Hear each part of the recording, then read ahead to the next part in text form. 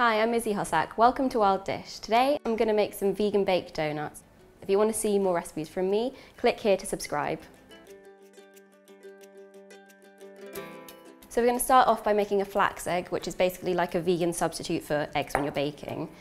So all you need is ground flax. You can buy this in health food stores or online. It's really easy to find. It's quite cheap as well. So you've got one tablespoon in there. And then you just mix in three tablespoons of water and this is a substitute for one egg. So it's quite liquid right now, but it will thicken up, so just set it aside. And next we'll do the dry ingredients. So I've got wholemeal spelt flour here, and I find it's actually nicer than using just normal wheat flour because the bran is actually much finer in this flour, so you don't get as much of a dense donut, but you can use whole wheat flour if you want to. And then I've got 50 grams of demerara sugar, this is just because it's gonna be vegan. You know it's not processed with bone char. And then I've got some ground cinnamon, because I love cinnamon, so I'm just gonna add in half a teaspoon of that. Some baking powder, just two teaspoons so that you give it some lift. And then just give that a bit of a mix. Then we can put the wet ingredients in. We're gonna go in with four tablespoons of olive oil. If you just use a light olive oil, you won't actually get the flavor in the end so you don't have to worry about it tasting weird. And then I've got some oat milk here as well. I've got 125 mils. You can use almond milk or soy milk, but I like to use oat milk.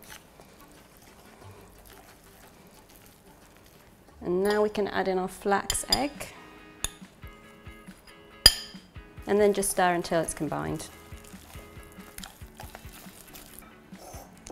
Now we can put it into our donut pans. You can get these on the internet or sometimes in like specialty bakeware stores. I've just greased them with a little bit of oil. And the easiest way to do this is actually if you take a sandwich bag or plastic bag and then fill it with the batter, because if you use a teaspoon, it takes forever. So if you just cut the corner off, you don't want too small a hole because you want to actually be able to pipe the batter in. And I've got two different sizes of pans here. The bigger ones will just take a bit longer to cook, but that's mainly the only difference really. I think the smaller ones are nicer for if you're having like a party or something, you can have it more like finger food rather than having it as like a dessert.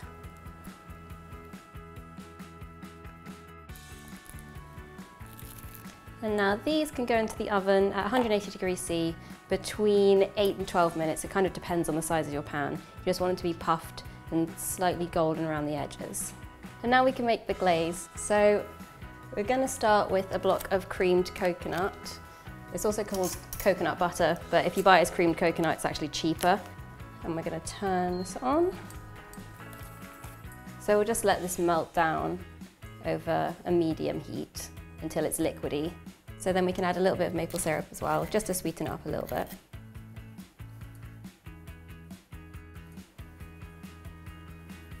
This looks good and now it's ready for the donuts. You can just tip these out. I might need a bit of coaxing. And grab your glaze.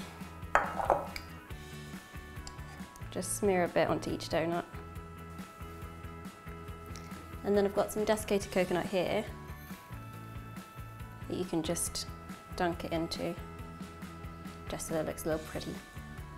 These are perfect for like birthday parties because you can just bake up a whole batch of them and then leave them out for people to take and everyone really likes them as well because they're donuts. So that's them done. Thanks so much for watching. Don't forget to subscribe to Wild Dish for more sweet treats from me and I'll see you next time.